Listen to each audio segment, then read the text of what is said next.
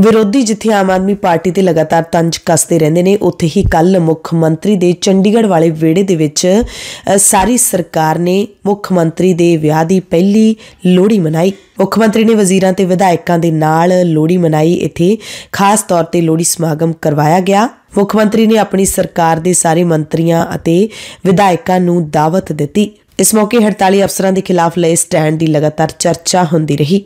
ਮੁੱਖ ਮੰਤਰੀ ਦੀ ਸਰਕਾਰੀ ਰਿਹਾਇਸ਼ ਤੇ ਕਰੀਬ 4 ਘੰਟੇ ਚੱਲੇ ਸਮਾਗਮ ਦੇ ਵਿੱਚ ਆਮ ਆਦਮੀ ਪਾਰਟੀ ਦੇ ਮਹਿਮਾਨ ਵਿਧਾਇਕਾਂ ਤੇ ਵਜ਼ੀਰਾਂ ਦੇ ਨਾਲ ਮੁੱਖ ਮੰਤਰੀ ਖੁੱਲ੍ਹ ਕੇ ਵਿਚਰੇ ਇਸ ਮੌਕੇ ਦੁਪਹਿਰ ਦਾ ਖਾਣਾ ਵੀ ਸਭ ਨੇ ਰਲ ਕੇ ਖਾਧਾ। 12 ਵਜੇ ਸ਼ੁਰੂ ਹੋਇਆ ਲੋਹੜੀ ਸਮਾਗਮ, ਕਰੀਬ 4 ਵਜੇ ਸਮਾਪਤ ਹੋਇਆ। ਇਸ ਮੌਕੇ ਕੈਬਨਿਟ ਮੰਤਰੀ ਅਨਮੋਲ ਗਗਨ ਮਾਨ ਨੇ ਬੋਲੀਆਂ ਪਾਈਆਂ, ਜਦਕਿ ਆਮ ਆਦਮੀ ਪਾਰਟੀ ਦੇ ਵਿਧਾਇਕ ਬਲਕਾਰ ਸਿੱਧੂ ਨੇ ਵੀ ਇੱਕ ਗਾਣਾ ਗਾਇਆ ਤੇ ਸਾਰੇ ਹੀ ਵਿਧਾਇਕ ਤੇ ਮੰਤਰੀ ਗਾਣਿਆਂ ਦੀ ਧੁਨ ਦੇ ਉੱਤੇ ਥਿਰਕਦੇ ਨਜ਼ਰ ਆਏ। ਮੁੱਖ ਮੰਤਰੀ ਦੇ ਨਾਲ ਉਹਨਾਂ ਦੀ ਪਤਨੀ ਡਾਕਟਰ ਗੁਰਪ੍ਰੀਤ ਕੌਰ, ਭੈਣ ਮਨਪ੍ਰੀਤ ਕੌਰ ਤੇ ਮਾਂ ਹਰਪਾਲ ਕੌਰ ਨੇ ਵੀ ਵਜ਼ੀਰਾਂ ਤੇ ਵਿਧਾਇਕਾਂ ਦੇ ਪਰਿਵਾਰਾਂ ਨਾਲ ਖੁੱਲ੍ਹ ਕੇ ਗੱਲਾਂ ਬਾਤਾਂ ਕੀਤੀਆਂ। ਇੱਕ ਪਾਸੇ ਜਿੱਥੇ ਸਰਕਾਰ ਦੇ ਘਰ ਵਿੱਚ ਸ਼ਾਹੀ ਅੰਦਾਜ਼ ਦੇ ਨਾਲ ਲੋਹੜੀ ਮਨਾਈ ਗਈ, ਤਾਂ ਦੂਸਰੇ ਪਾਸੇ ਜਲੰਧਰ ਦੇ ਲਤੀਫਪੁਰਾ ਦੇ ਵਿੱਚ ਉਜਾੜੇ ਗਏ।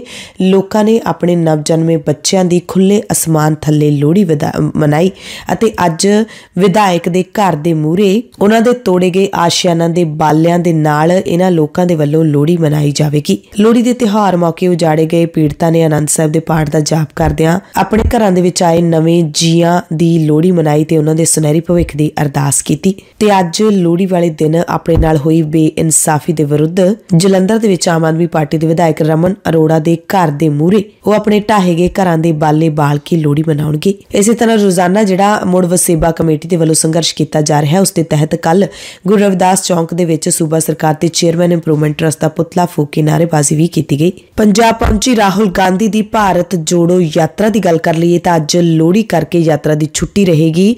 ਕੱਲ ਨੂੰ ਯਾਨੀ ਕਿ ਸ਼ਨੀਚਰਵਾਰ ਨੂੰ ਲਾਡੋਵਾਲ ਤੋਂ ਮੁੜ ਰਾਹੁਲ ਗਾਂਧੀ ਯਾਤਰਾ ਨੂੰ ਅੱਗੇ ਤੁਰਨਗੇ। ਪੰਜਾਬ ਦੇ ਵਿੱਚ ਇਹ ਯਾਤਰਾ 19 ਜਨਵਰੀ ਤੱਕ ਰਹੇਗੀ। ਕੱਲ ਲੁਧਿਆਣਾ ਦੇ ਵਿੱਚ ਇਹ ਯਾਤਰਾ ਚੱਲ ਰਹੀ ਸੀ। ਖੰਨਾ ਦੇ ਵਿੱਚ ਸਨਅਤੀ ਸ਼ਹਿਰ ਪਹੁੰਚ ਕੇ ਸਮਰਾਲਾ ਚੌਂਕ ਤੇ ਰਾਹੁਲ ਗਾਂਧੀ ਨੇ ਵੱਡੇ ਇਕੱਠ ਨੂੰ ਸੰਬੋਧਨ ਕੀਤਾ ਅਤੇ ਕਿਹਾ ਕਿ ਅਸੀਂ ਨਫ਼ਰਤ ਦੇ ਬਾਜ਼ਾਰ 'ਚ ਮੁਹੱਬਤ ਦੀ ਦੁਕਾਨ ਖੋਲ ਰਹੇ ਹਾਂ। ਰਾਹੁਲ ਨੇ ਕੇਂਦਰ ਤੇ ਨੋਟਬੰਦੀ ਅਤੇ ਜੀਐਸਟੀ ਰਾਹੀਂ ਸਨਅਤਾਂ ਨੂੰ ਬਰਬਾਦ ਕਰਨ ਦਾ ਦੋਸ਼ ਲਾਇਆ। ਕੱਲ ਵਾਲੀ ਯਾਤਰਾ ਦੇ ਵਿੱਚ ਅਪਾਹਿਜ ਬੱਚੇ ਵੀ ਯਾਤਰਾ ਦਾ ਹਿੱਸਾ ਬਣੇ। ਇਸ ਮੌਕੇ ਰਾਹੁਲ ਗਾਂਧੀ ਦਾ ਹਮਸ਼ਕਲ ਵੀ ਲੋਕਾਂ ਨੇ ਦੇਖਿਆ, ਜਿਸ ਨੂੰ ਦੇਖ ਕੇ ਰਾਹੁਲ ਗਾਂਧੀ ਖੁਦ ਵੀ ਹੈਰਾਨ ਹੋ ਗਏ ਅਤੇ ਰਾਹੁਲ ਗਾਂਧੀ ਦੇ ਹਮਸ਼ਕਲ ਦੇ ਨਾਲ ਲੋਕਾਂ ਨੇ ਫੋਟੋਆਂ ਵੀ ਖਿਚਵਾਈਆਂ। ਹਮਸ਼ਕਲ ਵੀ ਰਾਹੁਲ ਗਾਂਧੀ ਵਾਂਗ ਕੜਾਕੇ ਦੀ ਠੰਡ ਵਿੱਚ ਟੀ-ਸ਼ਰਟ ਪਹਿਨ ਕੇ ਹੀ ਆਇਆ ਸੀ। ਲਖੀਮਪੁਰ ਖੀਰੀ ਕਤਲकांड ਮਾਮਲੇ ਦੇ ਵਿੱਚ ਚਾਰ ਕਿਸਾਨਾਂ ਤੇ ਇੱਕ ਪੱਤਰਕਾਰ ਦੀ ਬੇਰਹਿਮੀ ਦੇ ਨਾਲ ਕੀਤੀ ਗਈ ਮੌਤ ਦੇ ਮਾਮਲੇ ਦੀ ਸੁਣਵਾਈ ਸ਼ੁਰੂ ਹੋ ਗਈ ਹੈ। ਲਖੀਮਪੁਰ ਖੀਰੀ ਦੀ ਸਥਾਨਕ ਅਦਾਲਤ ਦੇ ਵਿੱਚ ਸ਼ੁਰੂ ਹੋਈ ਸੁਣਵਾਈ ਦੇ ਦੌਰਾਨ ਗਵਾਹ ਜਗਜੀਤ ਸਿੰਘ ਦੇ ਬਿਆਨ ਦਰਜ ਕੀਤੇ ਗਏ ਨੇ ਤੇ ਕੇਸ ਦੀ ਅਗਲੀ ਸੁਣਵਾਈ 23 ਤੇ ਪਾ ਦਿੱਤੀ ਗਈ ਹੈ।